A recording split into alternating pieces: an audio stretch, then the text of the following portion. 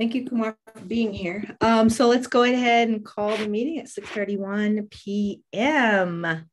Um, good evening, everyone. Um, can we go ahead and do roll call? All right. So let's see. Let me start with, I'll start with our chair and vice chair, Jessica Harris. Here. Uh, Ernest. Here.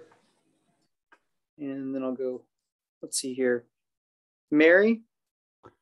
Present. Okay. Jeanette. Here. And Wolfgang. Here. Andy. Here. And Lindell. Here. And this would be Tobia's last meeting, but I think um, she has had to move on. So I don't think we're expecting her tonight.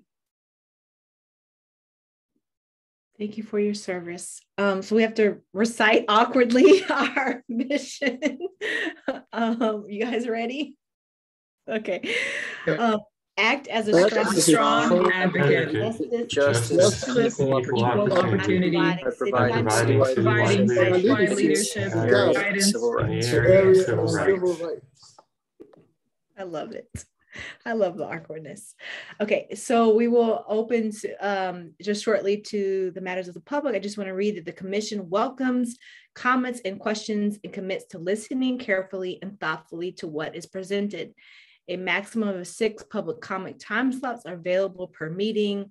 Each speaker will have three minutes to speak. The, commit, the commission requests that members of the public refrain from engaging in personal attacks against commissioners and staff members and ask that comments and questions focus on matters related to human rights within the city. Do we have any one here from the public that would like to speak now? Yes, So we we have someone. One, I will give uh, Richard. Richard permission to speak. You have the floor. Hey y'all, thank you uh, for having me and uh, allowing me to speak here. Appreciate y'all's work um, here in our city.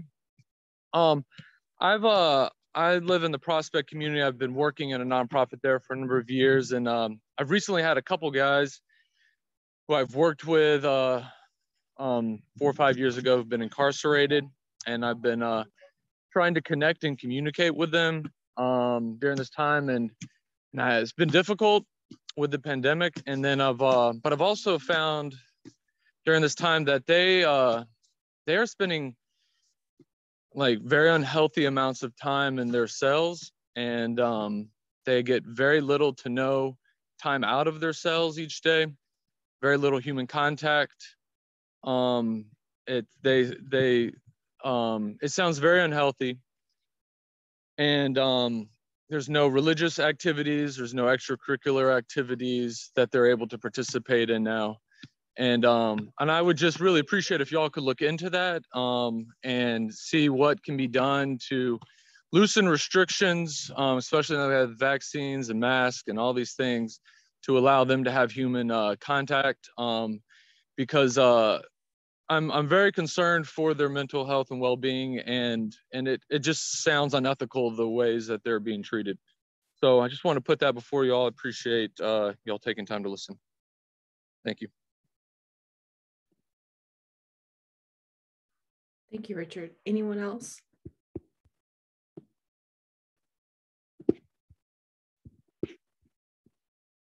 Todd, do you see anyone else? No other hands are raised at the moment. Okay, so move on to uh, Commissioner's response to the to Richard.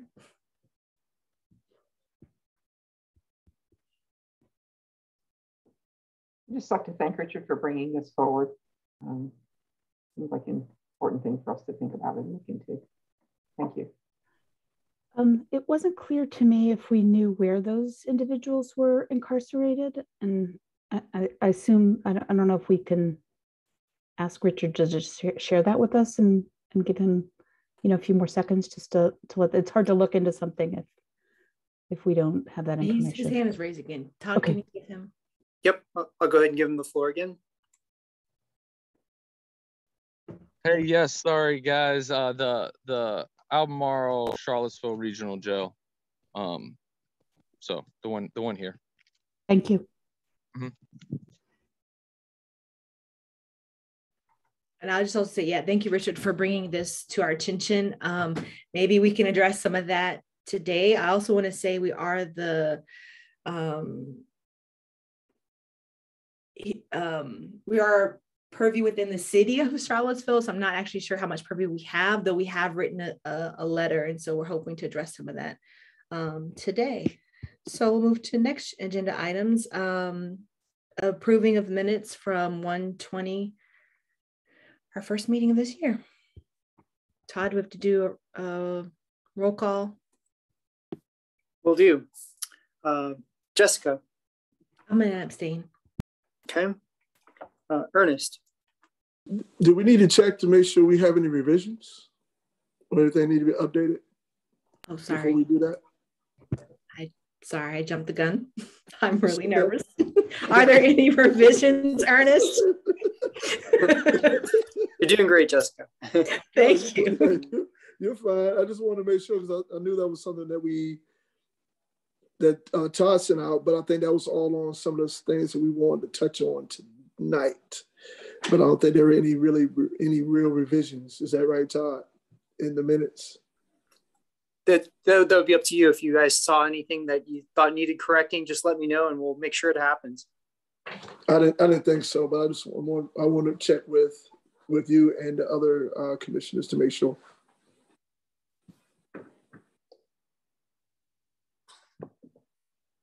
Speak now, forever hold your peace. Okay, no edits. Can we get approval of minutes? Again, I'm abstaining. okay. Thank, thanks for bringing that up, Ernest. Um, and and Jessica's abstaining. So Ernest. Uh, yes. Okay. Uh, let's see here. Uh, I think I went out of order slightly in roll call. Jeanette. I approve. Okay. Uh, Mary. Yes. Let's see. Uh, Wolfgang. Yes. Andy? Yes. Lindell? Yes. And Catherine hasn't joined us. Is that correct? Don't see her here. Okay. All right. Minutes pass. Yay. Okay. Next item. Many windows open chair updates. Um, that's me. Um, so I think the biggest updates, I'm really excited to have this conversation today. And um, Councilor Magill is, I'm sorry, Magill is here. Sorry, Councilor Payne is willing to meet with Ernest and I to talk about um, the upcoming um, panel discussion that we have. So I would hoping maybe later at the end of the meeting, we can talk about um, any things you guys want to draw to our attention before we have that meeting on on Friday. I have no other updates. um, like we will be talking about it here about the upcoming town hall and then like the retreat times. Um, Ernest, Todd, and I like met to set those dates. So please put that on your um, calendars, and I'll be reaching out soon about what that will look like. We have it so late in the year because we're it's the odd time of commissioners coming on and coming off and then I'm sorry, Todd, I wanted to announce the new commissioner that we do have that's going to be coming on. Can you please, I, I don't have that in front of me. Can you provide us information on that? Sure. That um, their name is Erica Robin, Robinson, um, and the term will start on the 1st of March. Um, and uh, doing some outreach to do some presentation in advance of that. Yes, Lindell. Um, is this is this closed now, or are there still opportunities for more um, commissioners to be appointed? It, it's closed now. We actually had to make, we made a special request to extend and have a special application right. period um, to fill our, our, um, our, potential vacancies. And I can say that um, we will have a commission of nine um, on March 1st. So that's, that's very wonderful. Okay, thank you.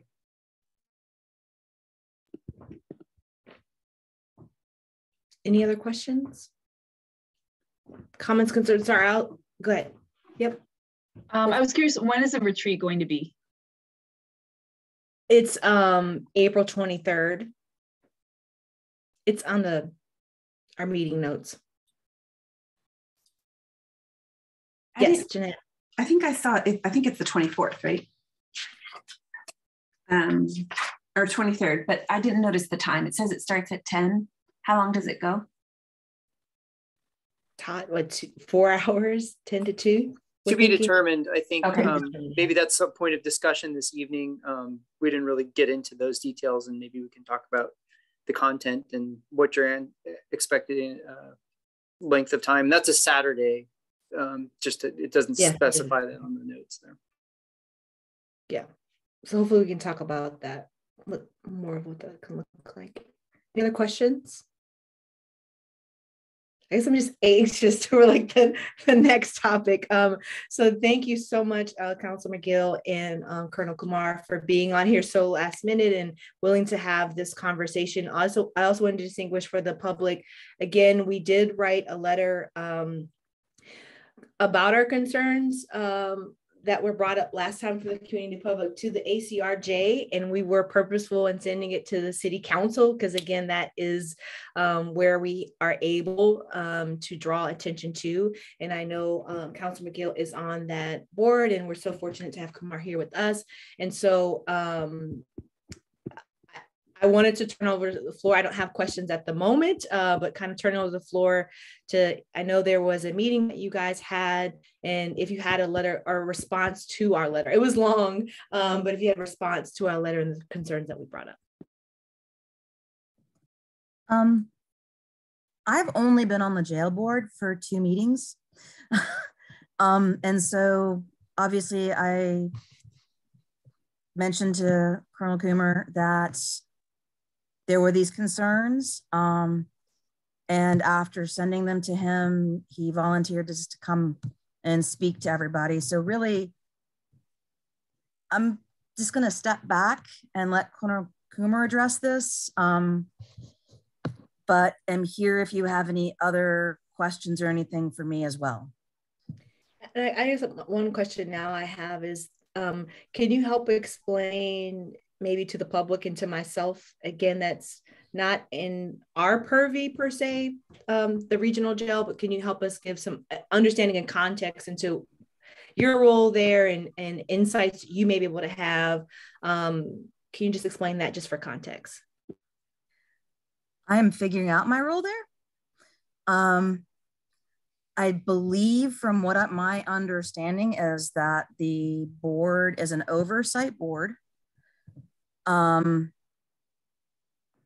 right now, the two meetings have been very much about the last meeting we had an update from the medical staff as to the level of care that people were getting the accessibility of medications how that works. I've also made some requests for some other updates agenda items um, that will be going forward. One to explain how the trustee system works, um, because a lot of this is the actual system of how the jail works is relatively new to me. Um, I've worked with people who have been in the jail before, or I have been in some justice committees that compare our jail to other jails, but the actual inner workings of our jail, and I've be, um, Colonel Kumer and I have also tried to get a time that I could come over and have a tour of the jail and see the conditions. Um, but it hasn't been working right yet. And there's, if there is a pandemic, if, especially when the COVID numbers were higher, there is no point in bringing somebody else in who could potentially expose somebody who might be sick with something else to somebody who's immune compromised with COVID. Um, so I was not going to do that at that time.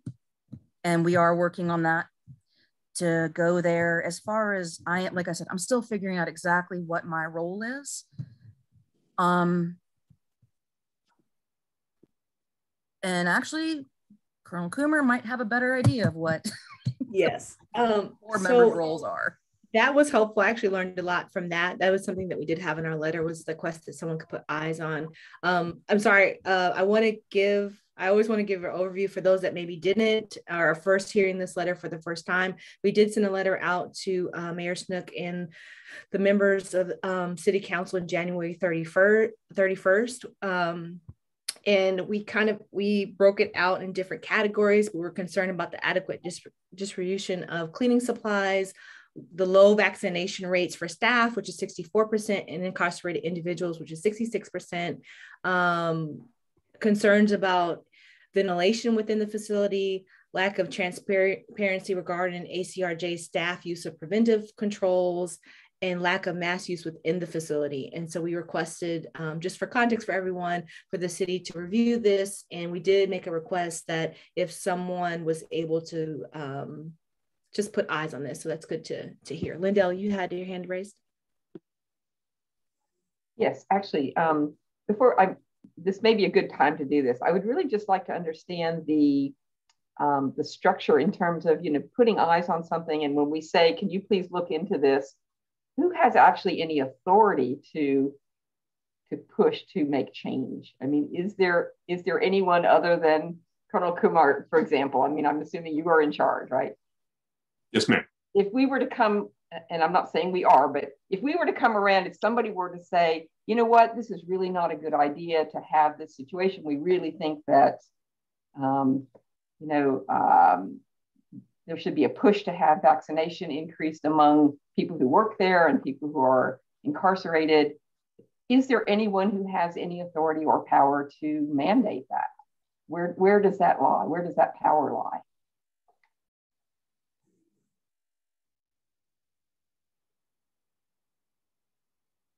Is, that a question for me or? or Sorry, it's a question for anyone who can answer it. so yes, I guess with you, yeah.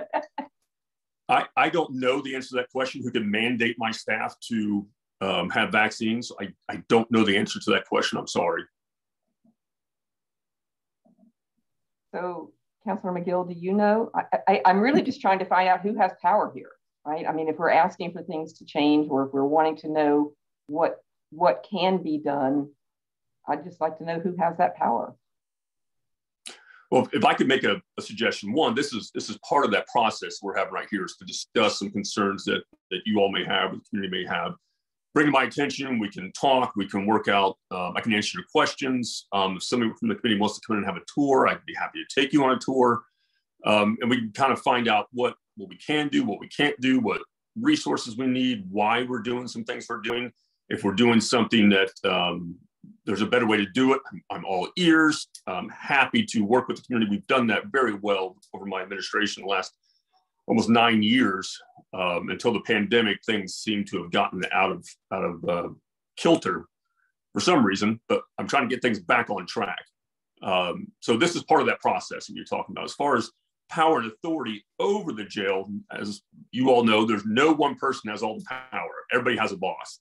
My boss is the Albemarle Charlottesville Regional Jail Board Authority, which is made up of all three sheriffs of Nelson County, Albemarle, the city, uh, three executive representatives from all three jurisdictions, um, Steve Walker, excuse me, Steve Carter out of Nelson County, Doug Walker out of the county, and uh, at the moment, Ashley Marshall out of the city. And then there are two at large, um, excuse me, one at large, and then one citizen representative from the city and the county and then the a member of each of those city councils or the two boards also. So they're the ones who have the authority. Now there are other regulatory agencies as well, the Department of Corrections um, and Department of Criminal Justice Services. They're the two regulatory agencies that also make sure that um, what I'm doing complies with law. Okay, that's very helpful. So just just to, to clarify, if there were to be a situation in which the the board were to say something, I'm just making this up because I'm trying to, figure out where the boundaries of things are. If the board were to say, um, we want um, we want more um, access to cleaning supplies for uh, for the incarcerated folks to to use, right? right? Would that have the power of that would have to happen? I'm assuming there'd be a negotiation and you would say, well, here's the constraints. These are why we wouldn't do it. So I understand that. But if that, it, it, could they conceivably say, okay, we heard everything and yet we think this is important and, and you need to do it. Do they have the authority to do that? And yes, they, okay. I serve at the pleasure of the board. So I have two choices when the board directs me to do something. I either resign my position or do as they ask. Okay. So thank absolutely. You. Okay, thank you.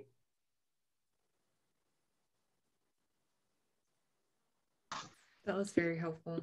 Um, it's good. I think um, it's always important. I think what we often face in the public is that they're, you know, we're able to bring up concerns and at the same time we're at the mercy of those that are empowered to make that happen. Wolfgang. Yeah, thanks for joining us. Um, I thought it would be helpful to ask uh, what is the status of COVID currently at ACRJ and what have what has been your response to the policies that we've either suggested or just inquired about? Sure. So as of today, when I left, I think we had 17 cases of active COVID as we speak. We had not had a positive case in the last three days, despite our testing. However, this evening, we did have one person who tested positive.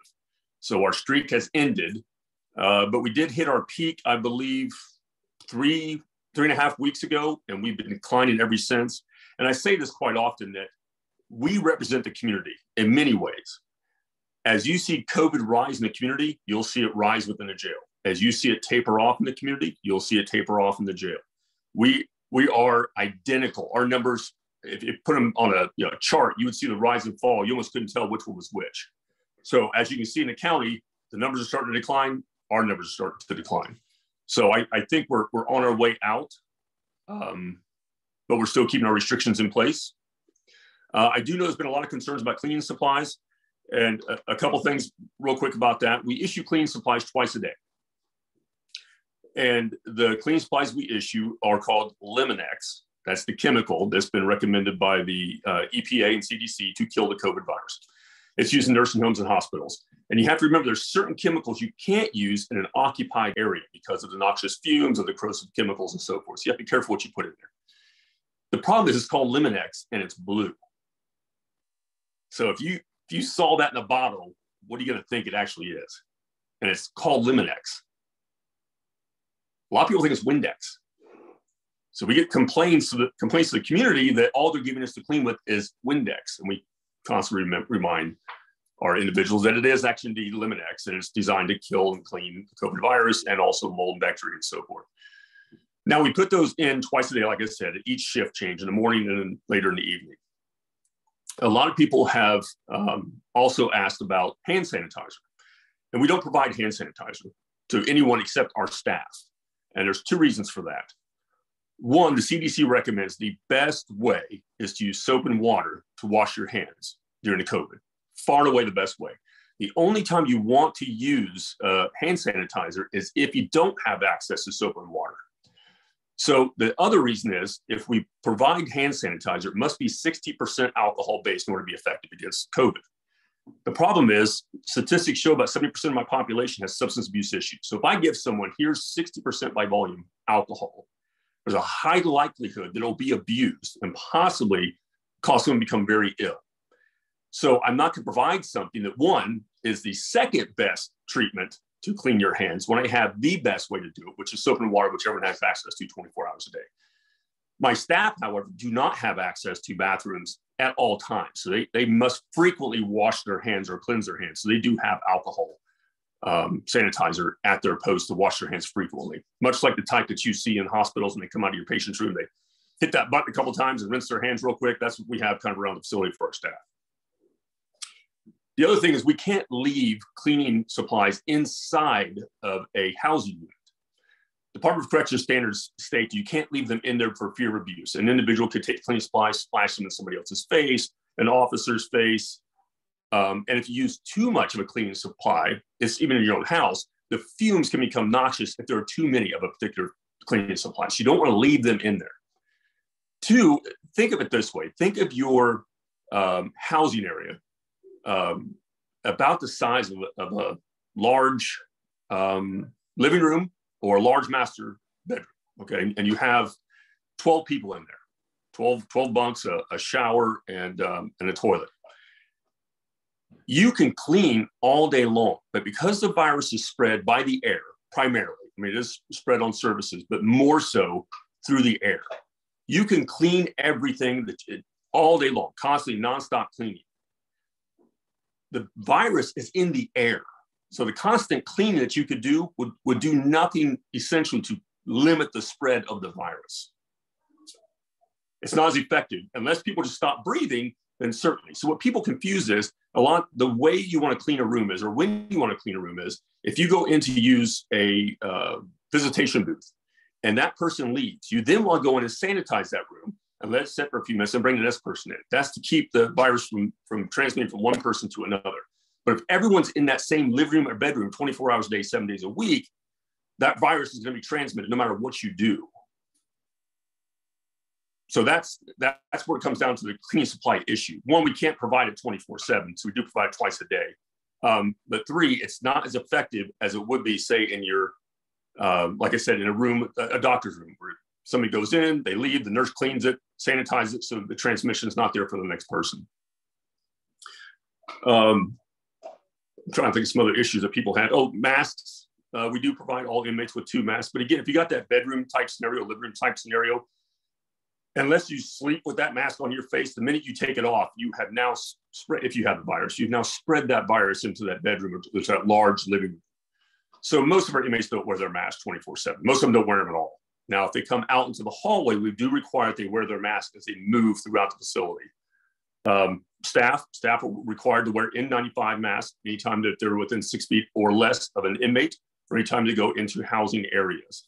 Uh, they're, re they're requested to keep it on the whole time they're inside the facility. But if, if you've ever put on one of those N95 masks for 12 hours, it will literally bruise your face. Um, it, nurses get it quite often.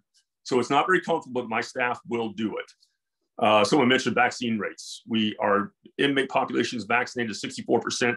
The problem I have is I could vaccinate everyone today to 100%, but if 30 of them leave and 30 new unvaccinated people come in, I now have to start the process over.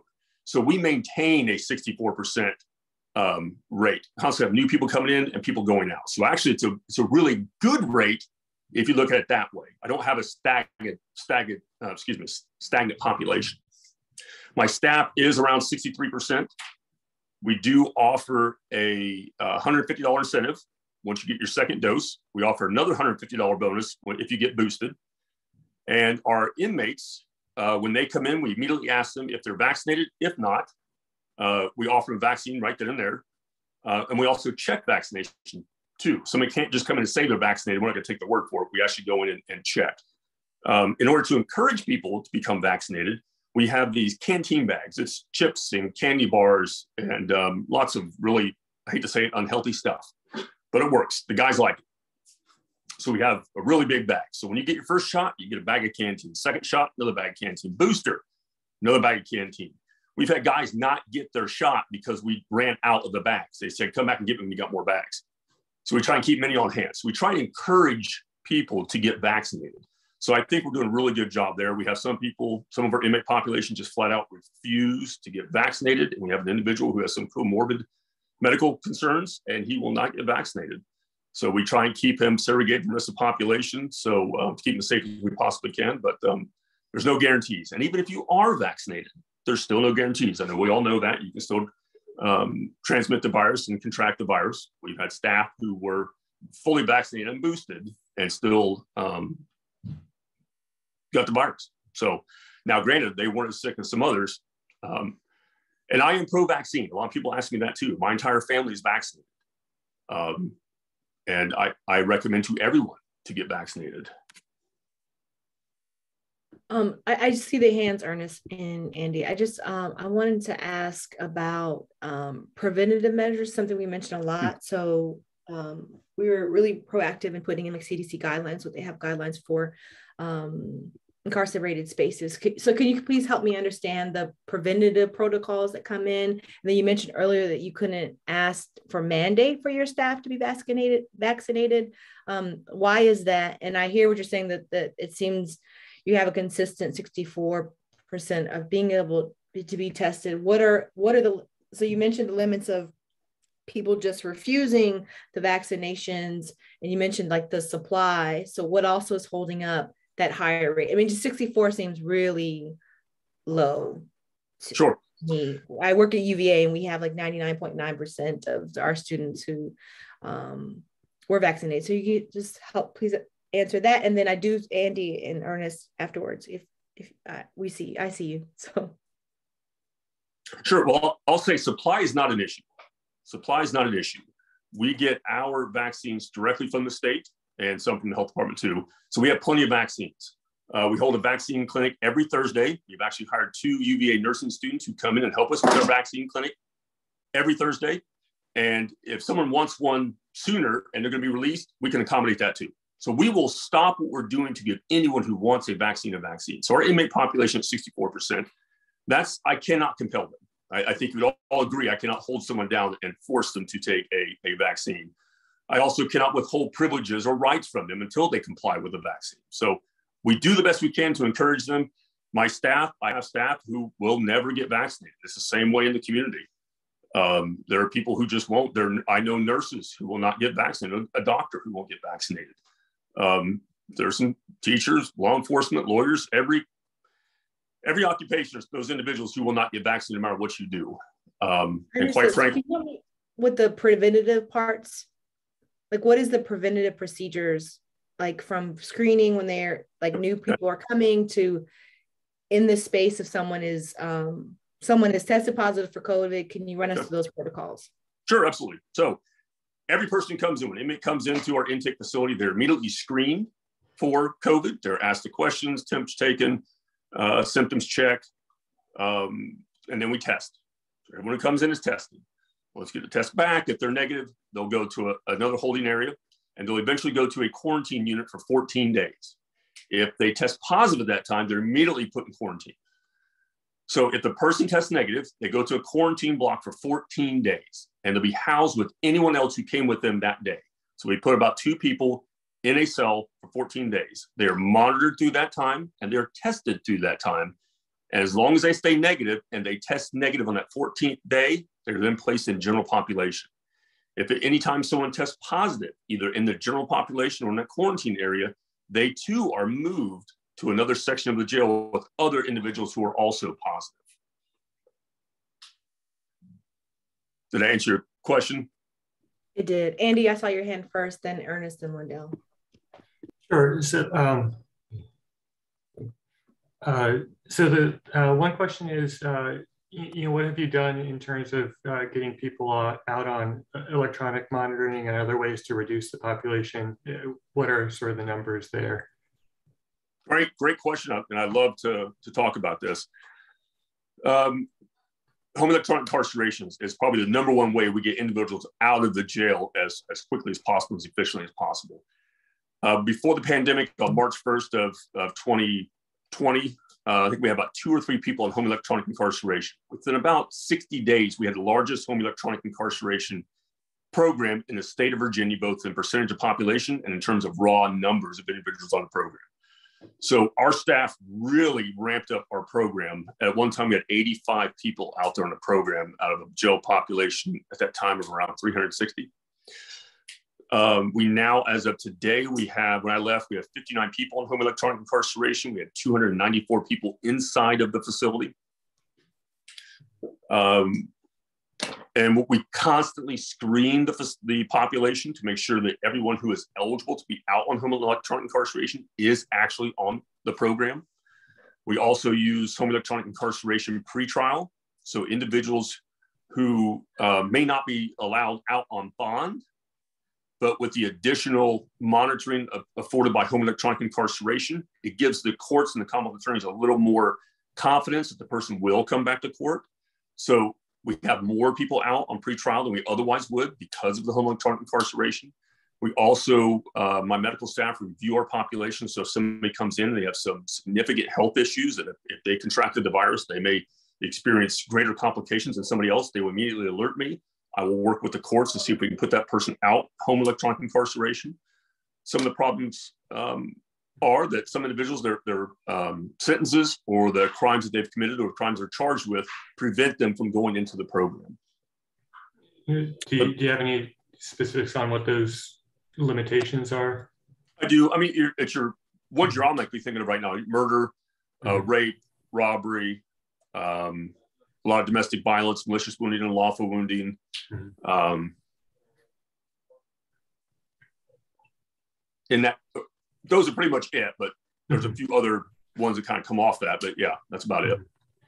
Um, and then there's another question I had about um, are, are the are the rates any different for the uh, women's side of the jail uh, than the, the men's side of the jail? Have, have, the numbers you've been giving been the general, like all of the population, or is there any differences in, in how things have been in the uh, women's side of the jail? Anecdotally, I, I, don't believe so. I haven't seen any numbers in, in any way. I mean, it may, if a cell block or housing area full of men gets infected, well, of course, that would be, you know, that day you may see 30, and then a women's cell block that is smaller, um, you might have 10 people infected. So it's the percentage of men to women inside the facility right now is about 10% to 90%, 90% men. Um, but we don't see any vast differences between the um, um, COVID positive rates between the two populations. They just vary from day to day. Okay, so you don't have numbers broken out for the infection rates separated between those? We don't. No, oh, no. Okay. If I if I had to guess, if I had to pick one of the others, there are men have higher rates because our the housing areas our men are in are larger. So if one person there gets COVID, it's a, a good likelihood that more men will get it as opposed to women who are in relatively smaller uh, housing areas. Sure. Andy, does it answer all your questions? Uh, I think so for now. Yeah, thank you. Okay. Ernest? Uh, thank you for being here tonight, Colonel. A couple things. Um, one about uh, filtration. So that would probably be an issue with not being able to put filtration units out and around because you know of the mechanics of it and having access to um, being able to tear that down and use it as a weapon or what have you, because uh, that will probably also help bring your numbers down in those rooms. But you probably can't now put uh, units like that on the floors in those areas. That pretty much correct about the filtration side. Yeah, I, I would agree with that. Uh, it's a 50 year old building. Um, it certainly wasn't. It doesn't even have any duct work, actually, or very very minimal duct work that was done in, in a renovation a long time ago. But the actual housing areas do not have duct work to actually duct, you know, air like that. So it's pretty much circulated throughout the building. Um, but that's something we're looking at with our renovation expansion to certainly tackling. Okay. Um, you talk about your staff, um, you know, and I understand that about, you know, people's choice about um, not being vaccinated and vaccinated. My question is for those that are not vaccinated, are they asked to uh, get tested uh, per week or, or they, uh, or do they get tested once they start to feel ill? Uh, but if they've been exposed, they'll be tested. If they are symptomatic, they will be tested. And we ask them each to, to screen for uh, symptoms. Uh, and a person is provided 10 days of leave, not counted against their, their, um, their leave balances. So it encourages individuals not to come to work sick. Um, if, if, they have the virus or feeling symptomatic, they are encouraged to stay home. And we do that, like I said, by giving them 10 days away from work for that purpose. Um, but we, the best way to operate is assume everyone you come in contact is positive. When if a person tests negative on a test, everyone thinks, well, I'm good. I'm, I'm fine. I don't, I don't need to wear my mask like I should. I don't need to practice good hand hygiene, good PPE um, protocols. So we operate under the assumption that every single person, every inmate, every staff member is positive, and you should operate accordingly. So that is doesn't answer the question about preventative like testing. Do you require them to get preventative testing? We do not. We do not do weekly testing. No, we do not. We only test if somebody's asymptomatic or if they are exposed. Yeah, that, that's interesting because you know that they would not want to be tested on a regular basis because you know, once you get, I mean, it's, it's almost too late once you're around someone and you don't know. Um, the test that you give inmates when they come in is that a, a rapid test or P or P, uh, PCR test? It's a rapid test. Rapid test. Okay, um, and then for them to be negative, that's also a rapid test as well. It is correct. We also do P- and we also do uh, P- PCR tests as well. But when they okay. come in, it is a rapid test. Okay, and then you do the PCR test to confirm the rapid test? I need to find out exactly when we do the PCR test. I'm sorry, I don't have that with me. I should have brought my nurse practitioner. Okay. Um, uh, thank you for the information about at home and the monitoring and, and getting people out um, it, it, the best you can with doing the monitoring uh, from home. Um, I think that was all of my questions that I had. So again, thank you for being here tonight, sir. And I'm passing over. You're welcome. I think it's Lindell, Mary, Catherine, and Wolfgang. Lindell. Okay.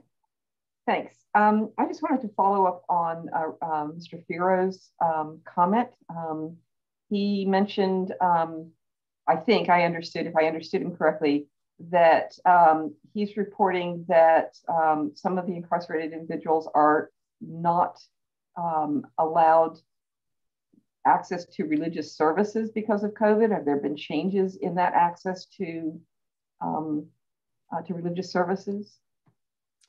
There, there has. We do not bring churches inside of the facility anymore, but our chaplain and his volunteers and his assistant chaplain are at work every day providing religious services. They're non denominational. They provide religious material, counseling, um, cell side um, services. So religious services has never stopped. And that that is there anything that you can think of that would that someone might feel that they are not getting the access that they would normally have? Like I'm just trying to understand. Maybe there are people who are not getting what they need because that's not seen somehow. Mean, are you aware of anything? Probably, like I said, we used to have church services inside. We'd have a, a church, and I, it's been two years. I can't remember their name, but they're fantastic. We'd come in, bring all their instruments and stuff, and they would actually have a full on church service inside of the jail. And individuals would sign up for it, and it would go, go to the actual church service. That's probably what the individuals are referring to when they don't have religious services. As far as access to religious materials or religious personnel, like I said, non denominational religious personnel, we do have uh, two paid staff. They're actually paid by another organization, not me, and five um, volunteers as well who come and provide cell side services. So if somebody needs something not getting it, they can contact our chaplain. And we can certainly have a conversation about that. And, and Richard, uh, I don't know if you're still on there or not, but I'm happy to give him my cell phone right now. If you want to give me a call, I'm happy to discuss uh, some of your concerns in greater detail if you don't feel comfortable providing that information now. Thank you to follow up to Lindell and to ask, I'm sorry, I, I do want to get the other people, but in it is concerning about the mental health, just the isolation in general, the psyche that it is. Can you address that? How how you're providing support for mental health care per Richard's question, and he is he is still on. So. Oh, good. Um, well, it, I don't know what to say to that, to be honest. Um, yes, it is tough. It is tough on all of our inmates. Our average length of stay for men is about 60 days. Our average length of stay for women is about 34 days last time we did the study. Um, we do, one of the biggest ways we try and combat the, the loneliness, the you know, potential despair that anyone would feel at any time in jail or prison, let alone COVID, um, is through our tablet system. So all of our inmates will have a tablet. Uh, if you have, are aware, there's not everybody has a tablet about the size of an iPad. Uh, they can do um, visitation on there, virtual visitation. There are music, books, movies, games. Some of those are you pay for, and there are also free options as well. Um, it's also a phone. So everyone has been given essentially a telephone, a computer, and a um, visitation device. And they're available from about 8 a.m. to about 10, 11 o'clock at night. So that's one of the ways we try and maintain contact with family and friends during this time, and also combat boredom, um, despair, and mental health uh, concerns as well. We do have a full mental health team, and if someone has some mental health issues, we can certainly um, see them and provide services as possible. I'm sorry, I keep asking questions, but it's related no. to what you're saying. Is and I promise, Catherine and and and um, Mary, I see you. Um, the educator in me is kicking off. So, like, I hear you saying a lot. I'd love if you could summarize this and send it to us. It'd be great if that's not too inundating for you. How much there's a difference of like what's available and what inmates actually think or may know. So I, I hear what you're saying is available to them do you know that that they're 100% aware of all of the things that you're saying that they have access to? Well, when they come in, they're handed the tablet by one staff member to them, and they're kind of explained how to do it and given their access codes to it, and then it's it's very self-explanatory. So they know they have that. Um, the chaplain goes around the facility, so someone or and also his um, other individuals, so they see them. Um, they also have their handbook that details um, mental health services available. Um, there are also staff that are in and out of those cell blocks twice per hour every cell block every inmate is visually seen by a staff member every twice per hour. So if anyone had any questions, any concerns, any problems, they have at least two opportunities per hour or more um, to raise those concerns or questions with staff members. So um, although no, I, I wouldn't know if every single person knows all that I just told you, but I can't imagine they, they wouldn't. And that the other inmates there who've been there for quite some time or, or who've been in and out of the facility several times will withhold information and not tell them as well. So there's plenty of information out there, plenty of ways to find out what's going on. We also are proactive in providing that information. Um, so I think a lot of times that's what I like to talk to people when they they bring concerns like that. They're kind of um, overarching, kind of vague. So when I really drill down, then it helps me kind of understand exactly what they're talking about. Just like you said, I really don't know what that person means when they say no religious services do they mean they missed going to that church service? And, and I, I get that. Or are they saying that I have asked for religious services and I've been denied?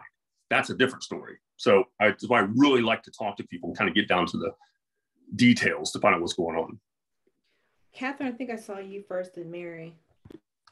Thank you. Uh, yeah, I, I, wanted to go back to the home electronic um, monitoring, and, and maybe you said this and I missed it, but um, are you charging people now for that? Individuals who can afford to pay, and we let them determine that, by the way. Uh, we don't have a means test. So the vast majority of people do not pay.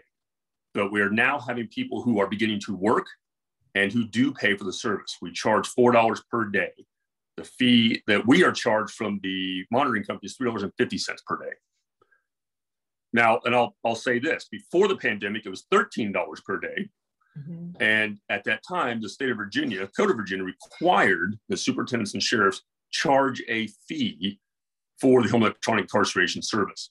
When COVID, when we started using the program and um, really using the program in March of 2020, when the pandemic hit, I immediately waived all fees, all fees. No one had to pay. Whether they could afford to or not, it didn't matter. No one had to pay. We did not want a fee to be barrier to someone being released to the program. Same with pretrial HEI. The individual is not required to pay. So it's not a, a cash bond system. They're, they were not charged. We just recently started charging the last few months when the economy started picking up and guys were, were working and were able to pay. And again, I want to say, we ask them, are you able to afford $4 per day? And if they say yes, we charge them. If they say no, we don't go into it, we don't dig, we don't look. I take your word for it. And, and so the the waiving the fees was a pandemic thing, and now you've started charging a relatively modest amount to certain mm-hmm. people. Is there is this going to sunset at some point? And we're going to go back to the 13 15 dollars a day, or is is this going to be durable? Uh, well, uh, this is what happened. So, as I mentioned, the Code of Virginia required the superintendents and sheriffs charge a fee. Okay. Mm-hmm. And that didn't change to about July 1 of 2020. Um, so when I waived that fee, I didn't necessarily have the authority to do so, but we felt it was the right thing to do. So we worked with Delegate um, Sally Hudson mm-hmm. to change the law. So I wasn't flouting the law anymore. Right. So she did a fantastic job and was able to get a, a, uh, a bill passed that amended the law that gave superintendents and sheriffs the option of charging for fees. So I say that because we worked very hard to ensure that not only do we not have to charge fees we want to, I wanted to make sure other superintendents sheriffs had the same opportunity. They weren't compelled to do it anymore. So we went through all that hard work because I don't want to choose or to excuse me to charge fees for home electronic incarceration. At least not what we at $13 per day. I, I don't feel as though it's a lot to ask someone who is working and truly can afford to pay at least pay for the, the service that is provided. No more, just what it costs taxpayers. That's it. The extra 50%, the extra 50 cents per day actually goes towards their um, drug test, drug and alcohol test. So you plan for this to be in perpetuity like that? Correct. As long as I'm superintendent, as long as the board has no objections, I will not charge electronic incarceration fees. Thank you. Like, let me back up again, except in places where people can't afford to pay um, and they only charge the $4 per day, the, the, fee that we're actually charged by the um, tracking company. Mary? Yeah, I want to go back to the vaccination rates of your staff. And, and I guess I'm, I'm curious about whether you know, more than a third of the staff is unvaccinated, and it's your view that you are not permitted to require vaccination, or is it that your view that you don't choose to require vaccination? Well, and honestly, I'm not sure, given the changes here recently, if I if I can honestly require staff to become vaccinated. Uh, the University of Virginia stopped their mandatory vaccine program, um, so we have not revisited it after the um, Supreme Court ruling. So now, that being said, I would be reluctant. Um, I guess if I had to, I would, but I'd be reluctant to do so. Um, we would lose many fine staff um, because of a max vaccine mandate, just like the University of Virginia Health System lost staff who refused to get vaccinated. They would choose to work someplace else. I would be in that same boat. But they did that because they were prioritizing care for the individuals for whom they had a responsibility. I mean, you too have that responsibility, maybe even more more uh, acutely, given that people can't choose to access healthcare anywhere but your facility. And yet, you haven't contemplated imposing a vaccination requirement upon yourself? Oh, I've, I've contemplated it. I have, and I've talked to other sheriffs and other superintendents around the state, and their view is similar to mine that if once you start doing that and you start losing staff, um, you have to weigh the, the pros and cons there. So right now, I, I'm down 30 officers 30. Um, I'm at bare minimum staffing as we speak. If I lose any more staff, COVID won't be my biggest concern anymore. The safety and security of the inmates who are currently there would be my biggest security, my biggest concern. So that I am, I again, I am pro-vaccine. I encourage all my staff. When we had our vaccine first vaccine clinic at the jail, I was the first one in the chair in front of my staff to show them that I was in it too. I was the first one in the county to offer a um, incentive to get vaccinated. I am all for it, but but again, I have to weigh the pros and cons of um, requiring vaccines. We do our vaccines on site, so I remove all the barriers. All right, it's free, just, it's on site, on their time, and I'll pay to do it. But I. All right, not, not to belabor this, but just like one additional question, which is that I assume that individuals who do not want to be exposed to unvaccinated people don't have a choice to avoid unvaccinated staff. Or or is that wrong? No that is correct. That is correct. Vaccinated and unvaccinated staff work all over the facility.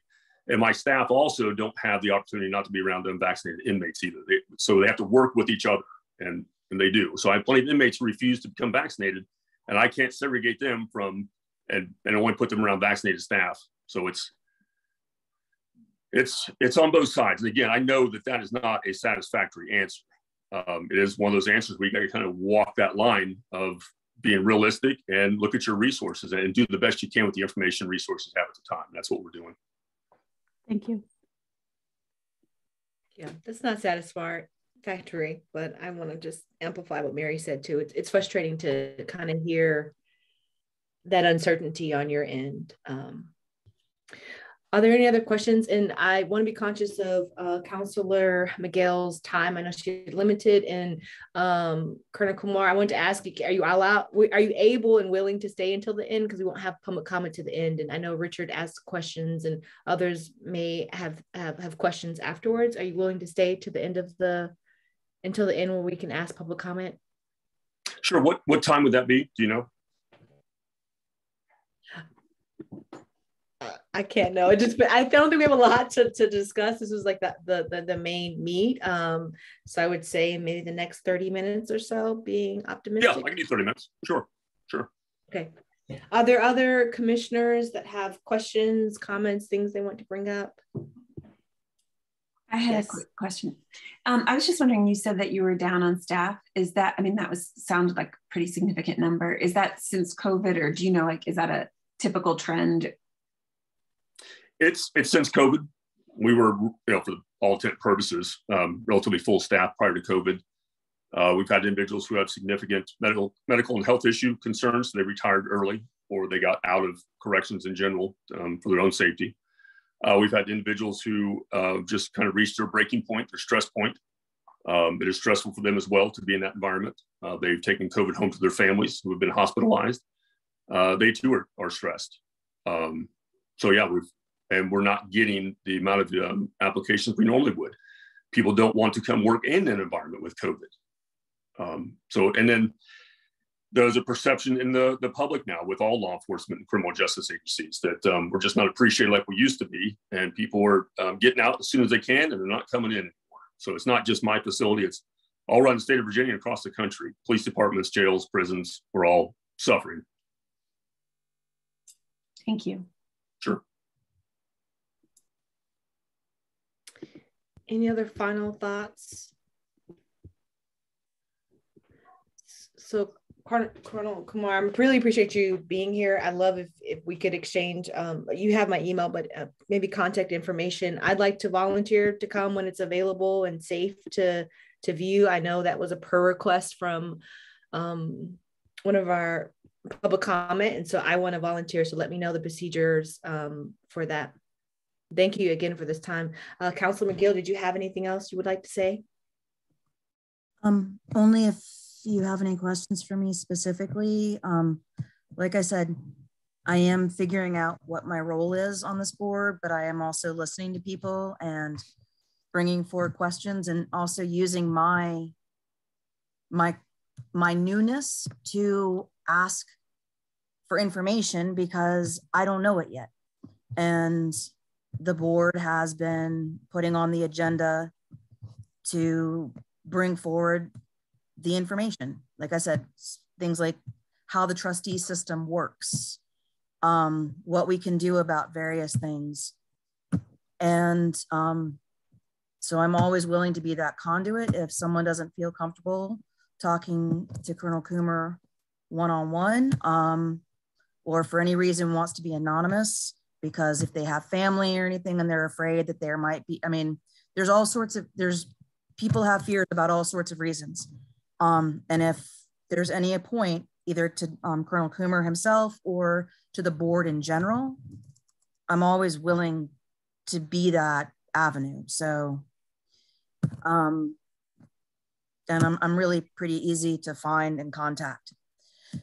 Um, email's always the best way to get in touch with me. And I've been trying, while I was here early, I was trying to answer as many emails about the tax rate increase issue as possible. So, well, I really appreciate that availability in um, uh, Colonel Kumer. I appreciate your openness and even willing to offer um, to Richard that I think just transparency is really important in this. And so I'm, I'm interested in at the end, you know, for public comment, you know, any questions that they may have, but I appreciate the transparency and willing to have this conversation. Um, and I will definitely be following up.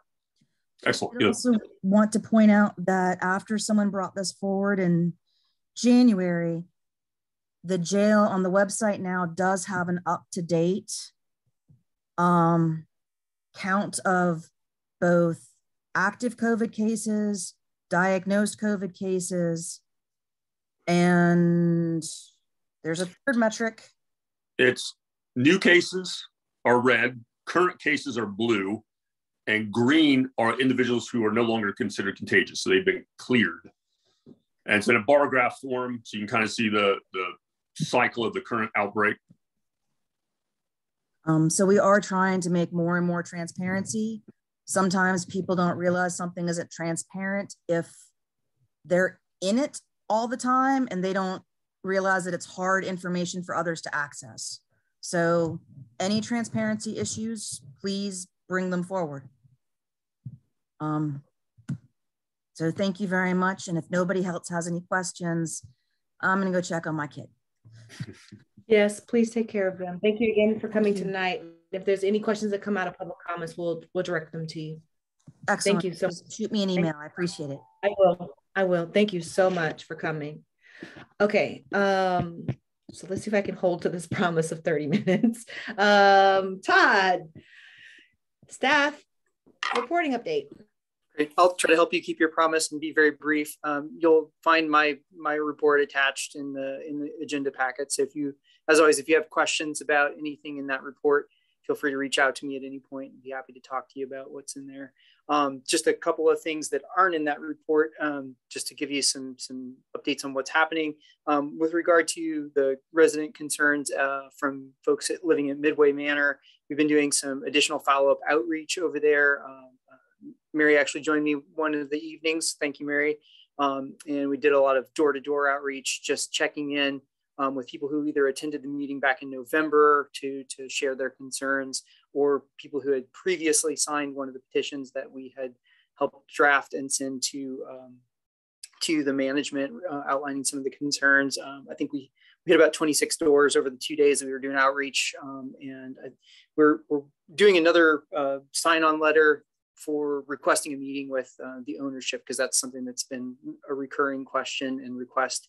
Um, I think we have nine nine signatures on that out of the 26 people we visited. Not everybody was home uh, when we went, but anyway, we'll forward that on to the new property management and ownership um, just to reiterate that there are residents who are still interested in having a dialogue with the new ownership. Um, and I don't know if we mentioned that previously, but the ownership did change back in December. So um, the, owners, have, the new owners have been fairly easy to engage, but we want to keep them engaged. Um, uh, with regard to hiring, uh, that's that's an important thing to keep you all notified of. Um, so we're um, in the process of doing interviews. I've got interviews um, scheduled for this Friday and next Friday. Um, hopefully, we will be able to have a decision uh, early in March and have another staff person in the office, which would be absolutely wonderful. Um, and I, you know, I think uh, Jenny and Lily will stay on with us um, for for a little while longer. Those are the two interns to help keep the things going. The the minutes, uh, Jenny's always doing our minutes, so thanks to her. And Lily's been really incredible at entering all the case data, which is super time consuming. And so um, frees me up to, to, to do the interaction with all the people that come in and contact the office. So um, last uh, couple of things, just more housekeeping. Um, we're gonna switch over fully to the .gov emails starting March 1st, because I wanna start that when, um, when Erica begins as commissioner. And, um, if anybody has a challenge, uh, Wolfgang, I think you mentioned you have a challenge of accessing the .gov email um, in certain situations at work. So um, we'd like to make a full shift over just for FOIA purposes, but um, if anybody has a concern about that full shift, let me know. I'll send out an email notification ahead of time, but um, let me know. We can talk it through. You know, we can come up with plans to make sure you stay in the loop. Um, but the idea would be to remove all your personal personal emails, um, and then all commission business would be going to the .gov uh, email address that you have now. Um, additionally, and I think this may tie into what we talked about with the retreat. We may shift all of our collaborative document uh, work to OneDrive because the city owns the uh, OneDrive 365 account. And so all of those things that we either collaborate on with Box.com or Google Drive or in other formats, we can shift completely to OneDrive. And so that makes FOIA very, very easy for the FOIA officer. If somebody requests any document that we're working on or whatever, or things you're collaborating on, um, the, the FOIA officer can go straight to that OneDrive and pull it off um, quickly. So um, anyway, those are things that come up. I mentioned that it's maybe relative to the retreat because um, OneDrive, I find it still confusing. I still mess things up on it um, when I'm trying to do crafty things with it. Um, so we might request to see if we get a little bit of training for folks, a little bit of orientation on the features of OneDrive at the retreat, just so that we're we're not all in the dark in terms of how to use it. So um, I'll leave that uh, as my update. And uh, again, any questions, just uh, either ask now or, or excuse me, follow up with me um, uh, after the meeting at any point. Yeah, thank you, Todd and Mary. I was out sick, and so as you guys were volunteering for Wood, with uh, Midway Manor, I really appreciate the the level of outreach and just the community and getting the, the flyer out. Um, I don't think we have any ad hoc committee updates, Todd.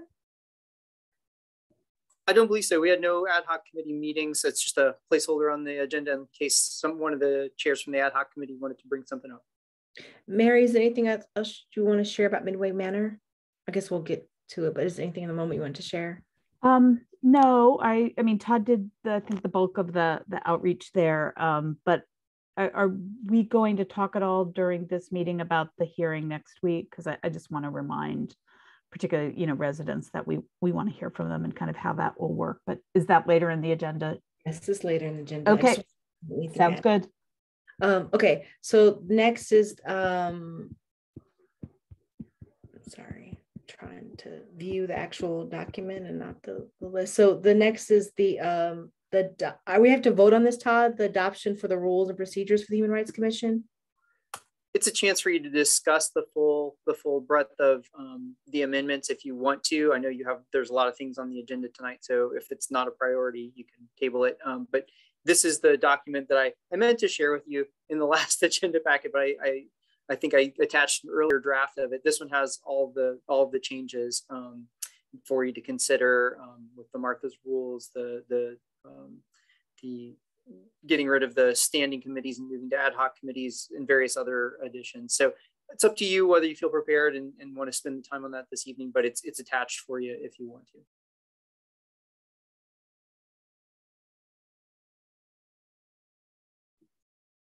Um, but it doesn't need action for us at the moment, Todd. Like, you may want to actually adopt um, those things, but um, yeah, I didn't put a, an asterisk on it for action in case you wanted more time to review and then discuss and amend. So, so are there any questions that the commission has? Do we anything you guys want to discuss about these changes? Okay. Yes, Wolfgang. Proposal 1A states that any proposal should always be in writing. And I think we've, unless we're, we're putting forward a formal resolution or amendment such as this, we don't tend to do that we might need to look this over and rewrite it for our normal workflow.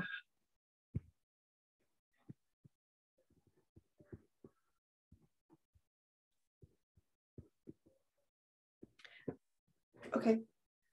So then we won't vote on it tonight.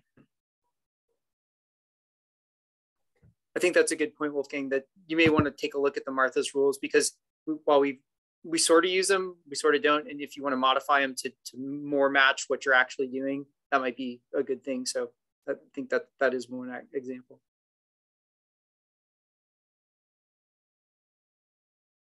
Okay, let's, Todd, can we pin this for next time so that people can review, we can make edits and. Sure thing. Yep, no problem. This is, this is always around, so no big deal. Okay, um, sorry, I'm at the bottom of page 64. What's the next agenda item, Todd? I was with you. I'm, I'm scrolling up quickly. okay, I was just like, oh, page uh, 64. Then I have to go. Uh, no worries. Yeah, it's it's a big thing. Um, so the next thing on the list is to talk about the housing panel. Um, so the thing that Mary was uh, talking about yeah. earlier. Yes, I'm so glad. I'm looking forward to this, and I wanted to announce. Um, we know it within the commissioners. We wanted to announce to the public um, that this will be February 22nd at 6 p.m. via Zoom. Um, please share far and wide um, information. We do want to hear from the public, and we have requested um, the mayor and city council to be there, but because of the holiday on Monday, they will be having their meeting, so they're not able to attend. And again, um, Ernest and I will be talking to um, Councilman Payne prior to the meeting. So if you have any comments, concerns, questions, if you're not able to attend the meeting, please, the public, let us know. We want to hear hear from you. So Mary, I'll turn over to you. Yeah, the, the only other thing I would mention is that um, when we were doing outreach, we heard from a number of folks at Midway Manor that they didn't have a computer or weren't sure kind of how to access a Zoom link. And so we are working on seeing if we get some volunteers to be at Midway Manor with a computer, uh, a laptop, so people could, to the so that they can help uh, people share their um, their thoughts. We particularly want to hear from residents of um, public and subsidized housing about um, you know issues uh, that you see.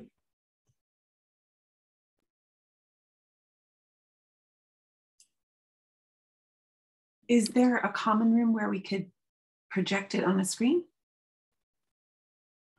I was thinking the same thing. Jeanette, I was going to suggest they do actually have a television down there that they could probably tune into the the station where it will be aired and if we could provide them with the phone number perhaps they can actually call into the zoom meeting but but mary you may have had a comment about that as well no no i think that's a great idea actually because that room had been opened up um, as i know the first time we went it was shut down but it, it's yeah i think that's a great idea mary so mary so do you have the volunteers that you need um, um I'll, I'll need to virtually but do you do you have what you need I um I'm going to talk to um LAJC. They had mentioned, you know, have perhaps having some staff. Um, and since uh, both LAJC and FAR have been kind of helping to coordinate this, I'll I'll be in touch and um, and make sure that we have somebody at least over there. Okay. Please let me know if you need anything. And the agenda is pub, uh, published for that. I mean, the published posted um, for that so again the, the, the big part of this is going to be hearing um, from from the residents and other community members concerns hey, i have a question though so if this is going on at the same time as city council then we're going to have an issue with this being broadcast because city council will probably take precedent over us. Yeah, you know, this is, um, you know, I worked, uh, I, I took our cue from FAR about the date, but it just didn't even occur to me that it would be a city council night. That's really problematic. I'm, I am yeah, and, yeah, and it, yeah. Oh no, I mean, I, yeah, I, I get it because you know they switched it over because of President's Day and that type of thing. So it it it seemed like it's the perfect storm of everything happening at one time. We, you know, we definitely had um, a good idea on trying to do that. So, you know, my other concern is going to be about what do we do, you know, um, in getting those individuals who may come over and help uh, from FAR or LSC to be able to um, help them see the um, the the town hall so that, that if we did a projector and screen, then it wouldn't. We have the Zoom link, and so you can just project it onto the screen. I mean, you wouldn't do it through the TV, but you just need a projector and screen. And we have that available too from the office if you want to use the projector and screen in the office. Um, happy to help out with that. Um, so okay, so that's a lot of coordinating we got to get done in a short amount of time to get that to them to do.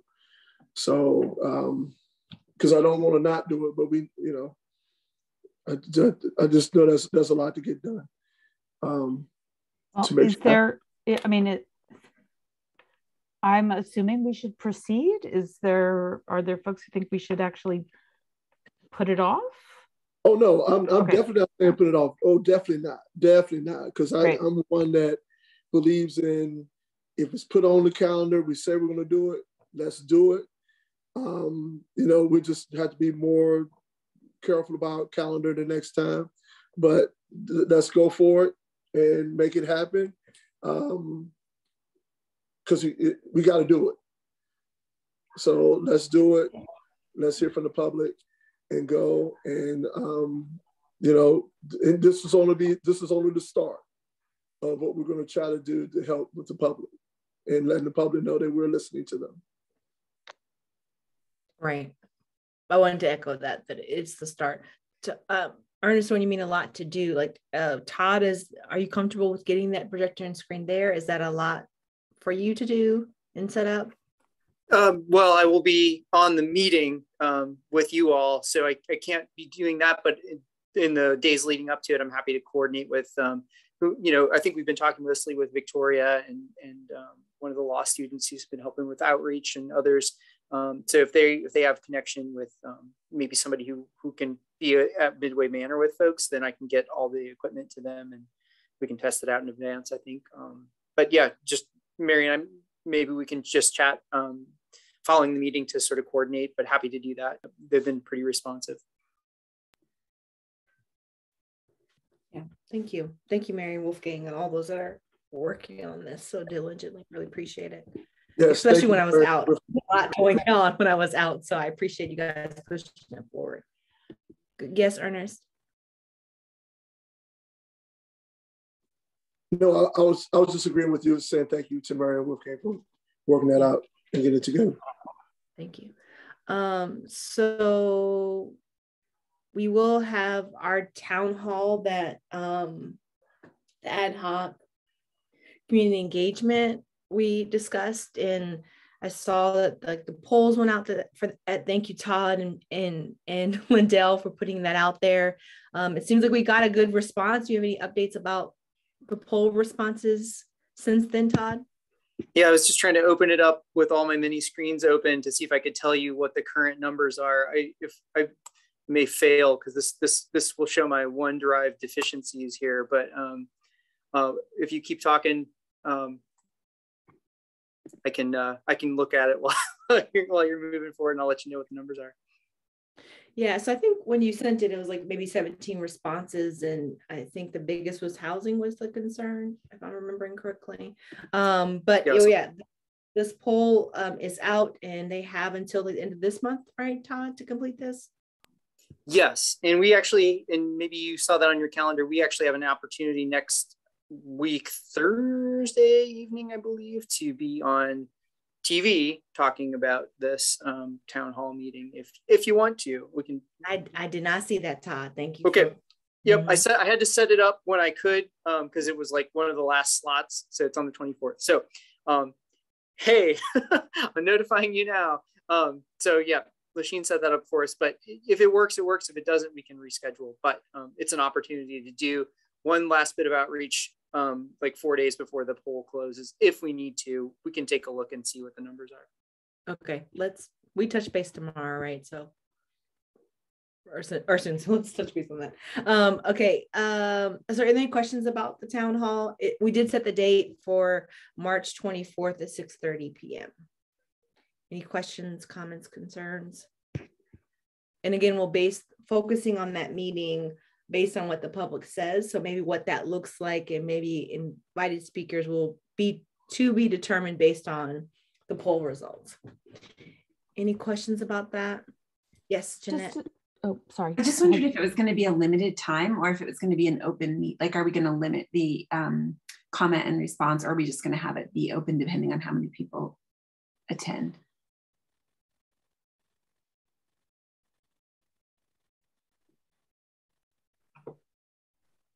To be oh, uh, for I mean, uh, oh, go ahead, Jessica.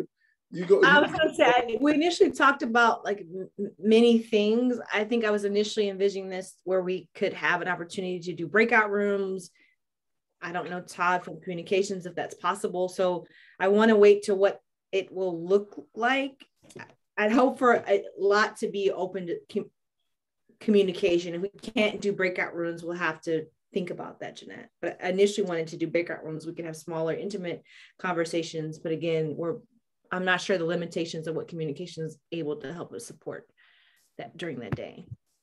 Jessica, and I don't know the complications of having breakout rooms and then suddenly things not being in the public view anymore because if you do breakout rooms, people will disappear.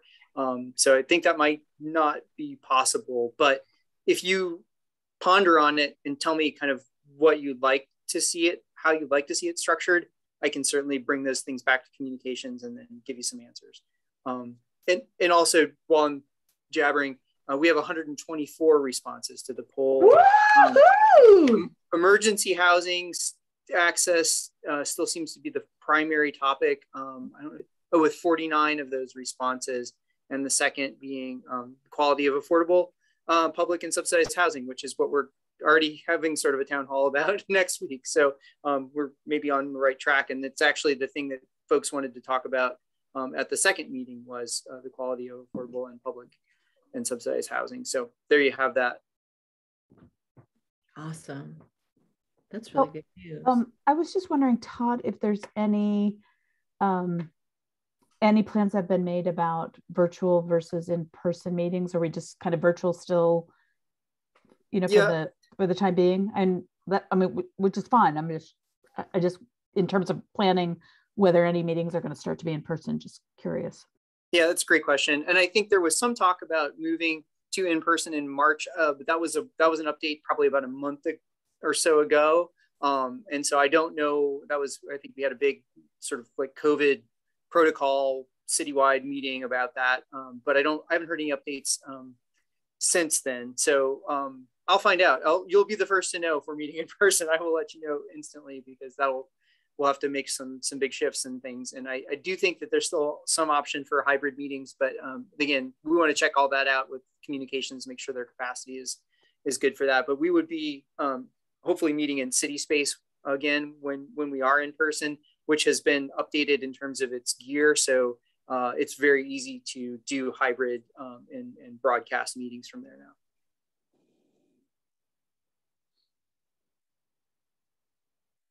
Catherine. Yeah, I just had a quick question about the breakout room issue. And, and Todd, you said that because it's a public meeting, we not might not be able to, but the Human Rights Commission ran, well, I guess maybe it's the other way around, but there were public meetings that led to the Human Rights Commission. And I know there were small breakout work sessions and things like that in those meetings. So I feel like it ought to be legal. You know what I'm saying? It's maybe tell tell me maybe clarify a little bit what you mean because I give me an example and I'll, I'll um well like like the dialogues on race, right? They were small group meetings and people brainstormed. Um, they, they, they broke up into groups and went different ways and brainstormed. And all of that wasn't publicly viewable and captured in minutes in necessarily in the same way like this meeting is. So I, I, feel like we ought to be able for a town hall where the purpose is to solicit feedback, be able to break out into rooms and then come back and report out or something. I don't know. No, that's a great question. So like just to kind of think about the, the different contexts. So the dialogue on race was, for those who, who weren't around for that, that was a, a, a long series of meetings over multiple mm-hmm. years mm-hmm. in which um, members of the community came together and, and had dialogue, a dialogue about race. They then broke up into task force and one of the task force was actually the result the result of that their work was the formation of the human rights commission the difference there is that those weren't public publicly appointed bodies right those were just groups of community members getting together with some some leadership. Um, and so I think that's the difference is that when the commission as a publicly appointed body um, has a meeting in which more than two commissioners attend, um, you have to, it has to be both publicly noticed and publicly accessible. Um, the limits to that, like I, you know, be sort of like entering into closed session when you, um, when you disappear um, and, and the, by which I mean those who are accessing it virtually perhaps um, can't can't attend. Now, if it were only in person and the breakout groups sort of divided, uh, right? yeah, but people people then have the ability to attend. Yeah. Um, so that's there's there's a different access point right now. The only access is virtual, and so that's where I I, I mostly just raise the question. I'm mostly speculating why hmm, yeah. would that be a problem. So I think it's a it's a great question to raise, and we need just to. I'm gonna invoke my Lindell and like let's just try like i, I want to know more is the capability possible and then we can figure out like the, the legal like i wouldn't say we all go away. I think there would be still a live session where they're having discussion but there's still an opportunity to break out rooms and come back and report. It wouldn't mean we're all gone off screen. We would have a like probably a main discussion here but I, I want to know more more of it is capable. I'm invoking my Lindell hat. That's like, let's try it and yeah. then see what the limitations are. We're doing the best that yeah. we can, Todd, in, in this situ in this in this, and we're trying to open up a space. And Zoom is the only space that we have. And if we did it in person, we would be breaking out individual rooms. Um, yeah, but again, let me know exactly. Like, tell me what you want, and I'll ask for it. Yeah. Okay. I won't break out rooms based on the number of people that are coming, like an equal amount. So if 100 people come trying to break out, you know, 12 to 15 people per that number of breakout rooms is is reasonable and easy to have dialogue. But we can talk more about the what i'm saying and maybe i can you know give more details. Are there any um any more discussion about that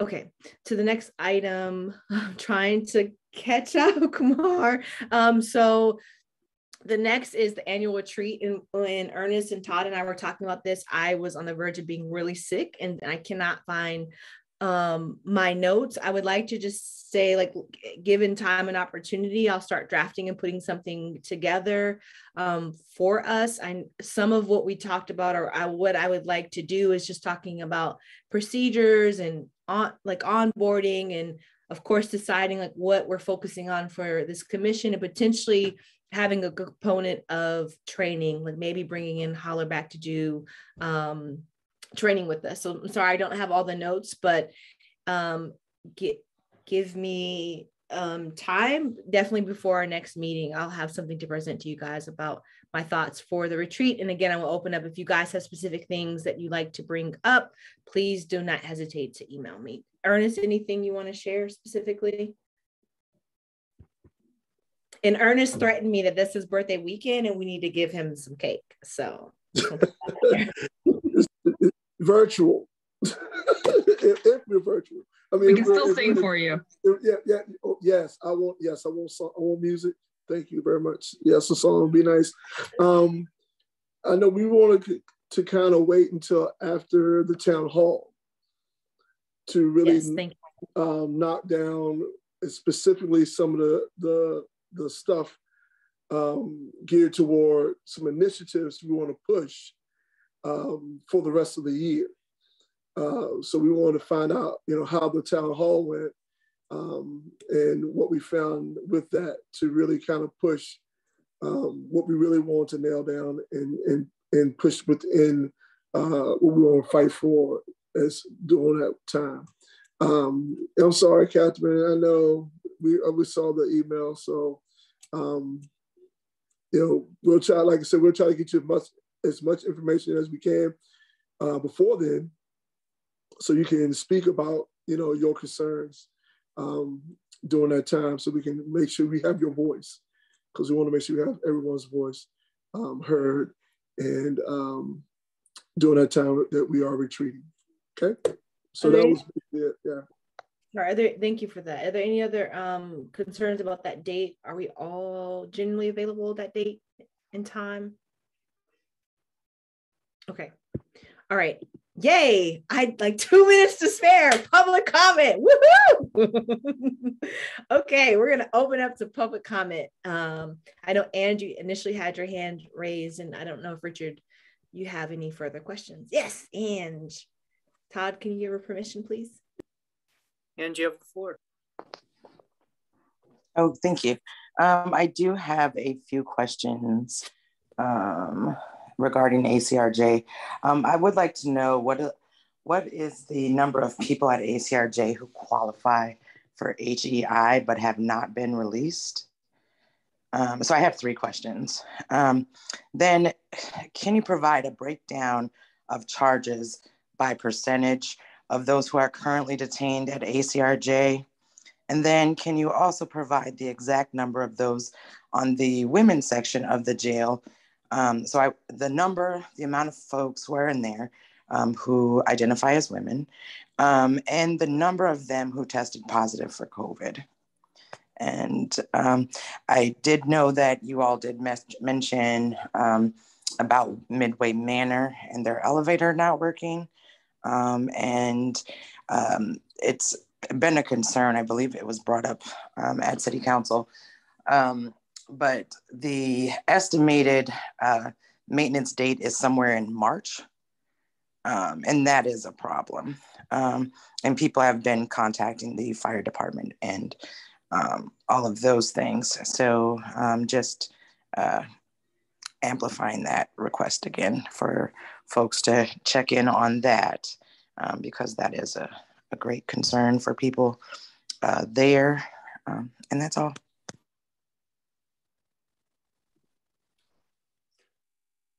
Richard, can you wait? Sorry.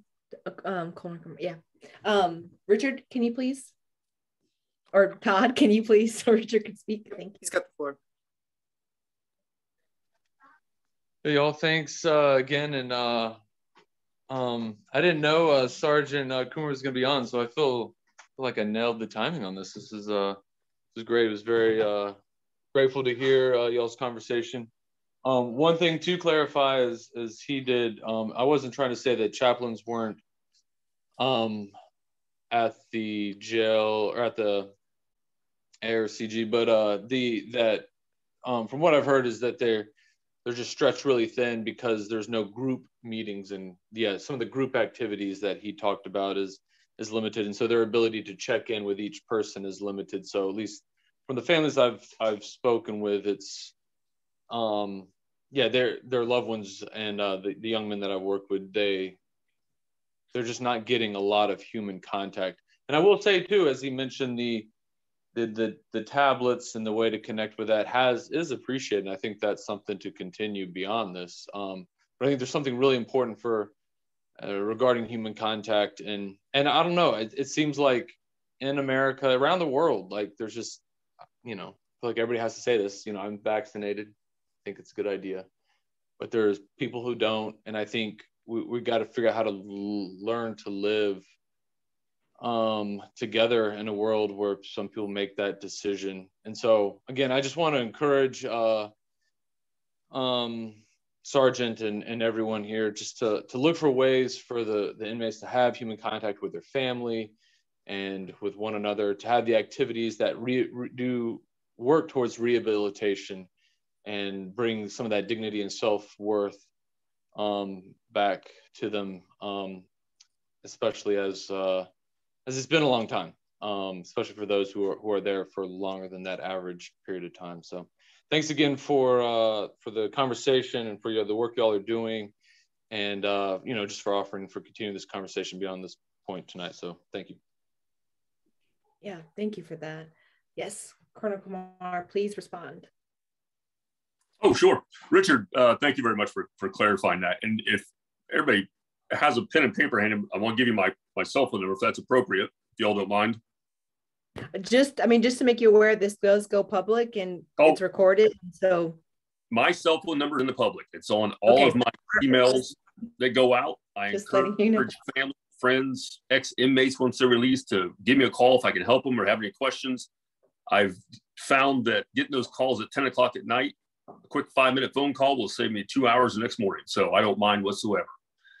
Uh, my cell phone number is 434 962 3015. And I encourage any family member has any questions, any community member has any concerns, call me, invite me to coffee. I'll even pay for it. Just let's have a conversation. Let's work together. We can make that jail a a a uh, uh, a benefit. I don't know a better way to say it, but a, a part of this community that um, is helpful, not hurtful, to the degree possible. So anyway, um, Richard, again, thank you very much, and I agree with you. We do we are starting programming back up now as we speak. Uh, the anytime we have an outbreak, it really slows things down, but we do have some programming going back on again now. So we have our own internal facilitators who provide programming. So we're starting to get that going again. Uh, to the, the first lady, and I apologize, I did not catch your name. Um, ACRJ, the number of people who um, are currently in jail, who could be on home electronic incarceration, but are not. As of today, Thursday, there is zero. Um, there's nobody in the jail as of today whose charges or sentence or otherwise makes them eligible for home electronic incarceration, and they are not on HEI.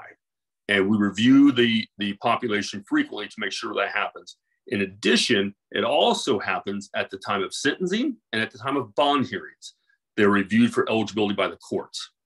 So once someone is sentenced and they're not placed on HEI by the judge, the Commonwealth Attorney myself can also have that conversation and we can make that decision together. And I want to put a plug in here for Joe Platania and Jim Hingeley, uh, city and county Commonwealth uh, attorneys.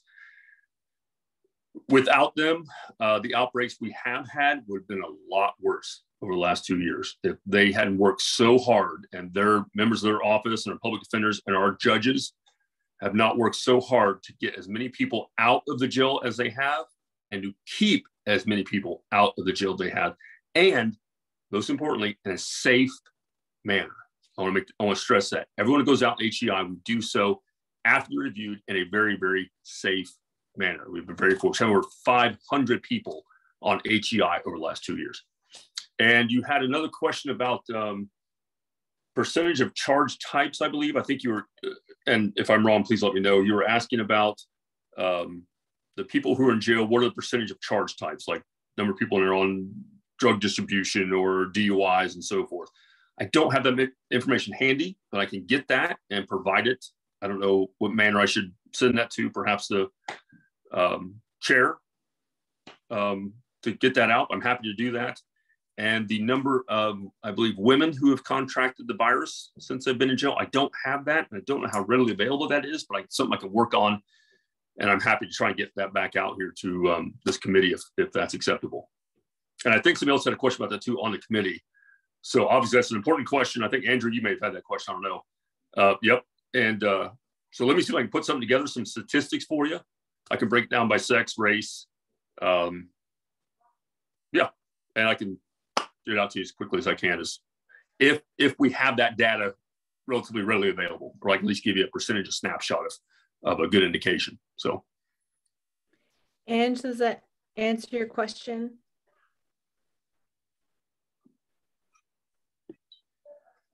Sorry, I was trying to figure out how to unmute. Um, eh, yeah, so I wanted the the so the question was the number of uh, women who are currently at ACRJ, and then the number of positive COVID results for that specific demogra- demographic, um, not a combined, um, because it seems like in this conversation, um, it was focused on the men's side, which has a, the highest number of folks, right? but also it's disregarding the uh, women who are incarcerated at ACRJ. Um, so I would be interested in that, and I believe the Human Rights Commission would also. Thank you. Oh, just just to be clear, the numbers I gave tonight did include both men and women.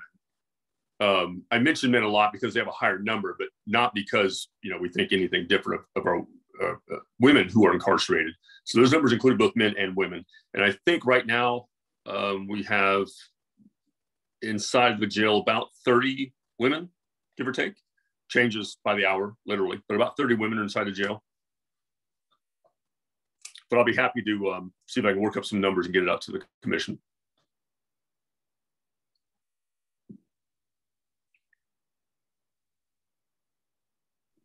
And again, I, I, apologize. I just have like 10 seconds. I do want to, I, I want to work with the commission um, somebody asked earlier, you know, who's the decision makers, who's in power, who can make changes. Again, I'm not the ultimate power authority. I don't want to portray that. However, I am in charge of the jail. It's my responsibility to make sure that I work with the community and kind of engage with the community so we can come to some type of resolution as to how your jail, not mine, it's the taxpayer's jail, is run and operated. So I want to work with the commission. So I don't know who that contact person would be, but I would love to develop that that relationship. Sit down have some coffee and figure out a way we can um, kick this off and and have a good working relationship so we can we can um, initiate change that's better for everybody. Um, I do want to eventually give public comment, but I just want to say um, to you, uh, Colonel Kumer, I'd, I'd love to sit down and coffee with you. I love coffee. Um, thank you. This is positive. I think something within our commission personally is we want to bring change. Um, our commission through the guy I just started chair um, last uh, last time, but Mary and Led and Catherine were previous um, chair and vice chair.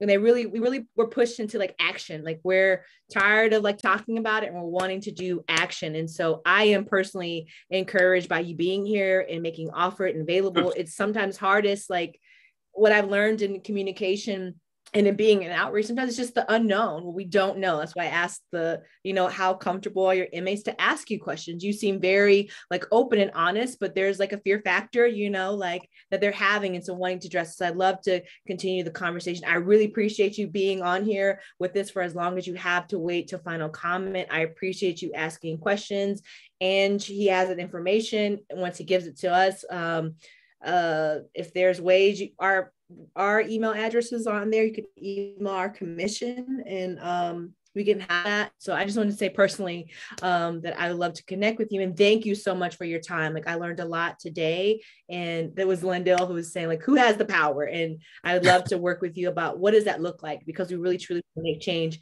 in our community. It's a real question. I love that about Lindell. Like she's always asking like that straight up, like how can we make change in our community? And so I feel encouraged um, by you just being here and being open. Like you jumped on you know, just two days ago, willing to offer. Um, so I, I personally appreciate it. Um, I will stop talking and ask the commission if you have any um, um, response to the matters by the public. I, I wanted to follow up um, with Ms. Khan's comment about the elevators at Midway Manor and the, you know, it's just an issue that we heard about a lot. And and I, I just want to emphasize that this is not just like a theoretical inconvenience. Midway Manor is a building built and subsidized for elderly and disabled folks. So the people we were talking to literally can't leave their homes when the elevator's out. So we talked to a gentleman who had, had to cancel a necessary medical appointment. People can't leave, they can't go to the grocery store, they can't do basic things. It's really, really uh, a, a, profound matter of community concern. Um, and I know that was it, you know sort of implicit, but I, I wanted to just say that explicitly. So I am I am really hopeful that um, the folks, uh, residents of Midway Manor, and other folks will will join us next week for the hearing. Thank you, Mary, for that. Andrew, Andy. So, quick question about the elevator: Is it because there are two elevators? Is it one that's not operational, or is it both of them? Right right now i think one is working um, but there have been mm-hmm. a, a, number of times when both were out um, right. and uh, and that sometimes went on for you know for quite a bit of time okay.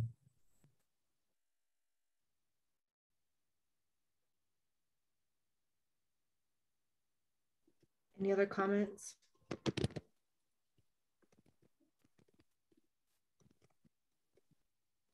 Thanks again, Anne, for um, your comments and speaking up, and Richard also for speaking up. And Molly's on. How did I miss that? We see you, Molly. thanks for being here with us tonight. Um, so, are there any commissioner updates?